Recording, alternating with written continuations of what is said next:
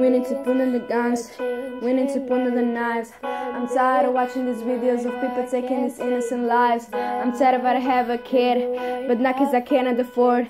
I'm scared of what that he's in danger. No one will happen to just a record. I hate what they did at the store. Can't even scroll down my explore without seeing RPX. My heart can't take it no more. My mom losing a part of me. I'm tired, I can't lose the art piece.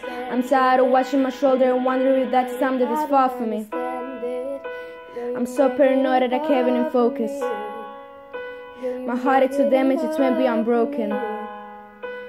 We gotta do more than just like and reposting. We gotta do better, I'm praying, I'm hoping.